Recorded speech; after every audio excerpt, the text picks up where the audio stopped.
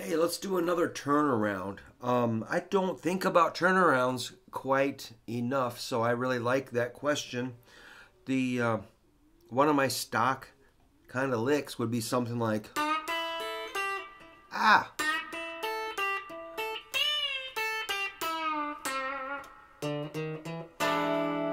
All right, that's I'm going to do it again.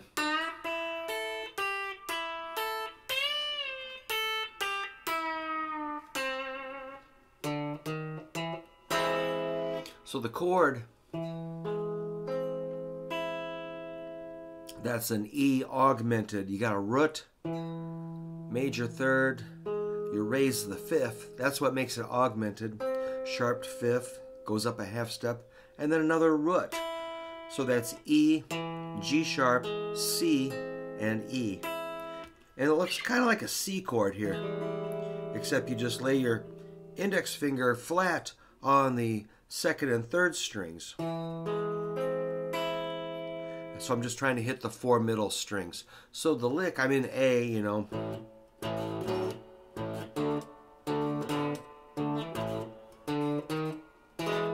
Oops. Ah, so the lick. That's your standard uh, exercise, approach, lick thing. Bend. 5 5, that's a 7 on the third string. 5 5, then your good old. So these are just reflexes to me. One, two, three, one, two, three, one triplet, two triplet. G, E, A. that's an 8, 5, 5. So 7, 5, 5, 8, 5, 5. Then the kind of freaky bend, that's a C going up to a D. Kind of a, a bold statement.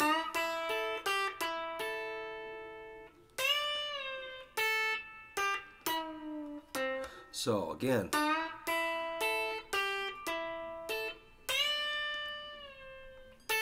That's C going up to a D.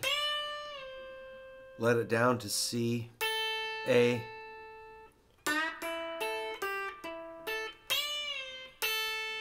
And then that's pretty kind of stolen from Funk 49, isn't it? That's G. Pre bend the D and let it down. C, A. All right, so that last little chunk.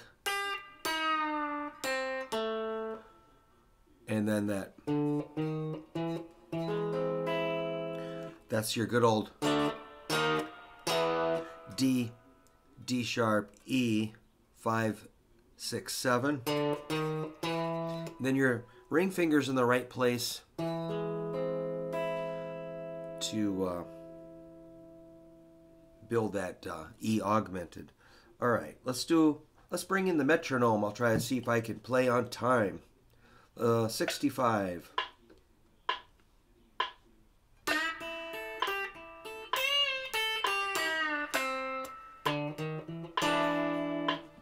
I switched it to a dominant 7 versus an augmented.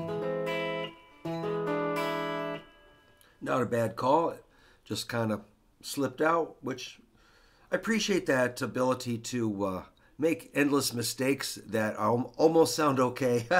That's improvising. I'm going to take the tempo down to 49. Same thing.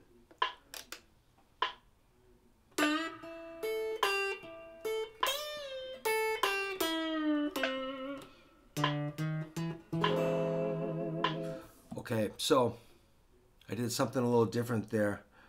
Um, I put like a one triplet, two triplet, three triplet, four triplet. Really accented the one of those triplets. Bop, bop, bop, bop, bop, bop, bop, bop, bop, bop, bop.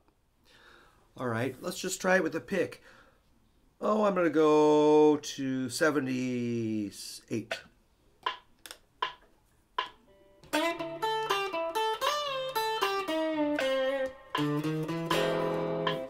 So it does sound interesting to try different tempos. So if you've got a metronome, hopefully um, you're getting kind of, you're starting to get used to working with it. And, you know, you can try different tempos and it really feels different. Let's just take it up to 91.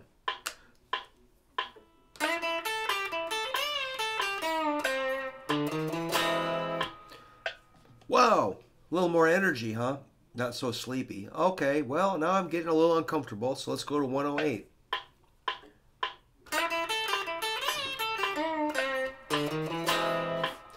Wow. Okay. you know, it's a mediocre. It's, I'm not saying it's the greatest thing ever, but a lot of times you just need to play the right thing that fits, and it doesn't have to be like Olympic level performance. I wish I could. I wish I was Yngwie Malmsteen and Ritchie Blackmore and uh, Eric Clapton and Jeff Beck and Scotty Moore and Link Wray all rolled into one, but I got to be me and just do what I can do.